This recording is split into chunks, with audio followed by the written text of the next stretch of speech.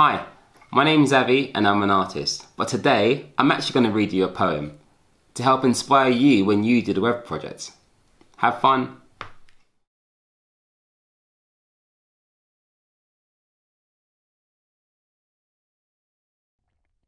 Monday's sky was blue and bright.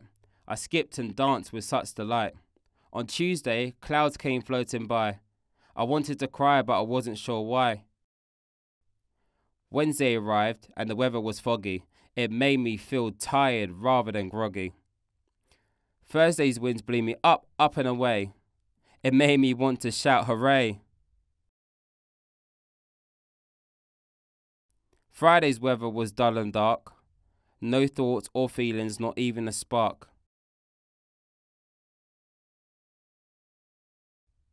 Then on Wednesday, raindrops started to fall. They looked like they were having a ball. I pulled on my coat and I went to join in, splishing and splashing with a big happy grin. On Sunday, all kinds of weather came out to play.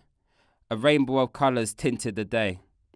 As I watched the sky change and the clouds move free, I wondered what next week's weather would be.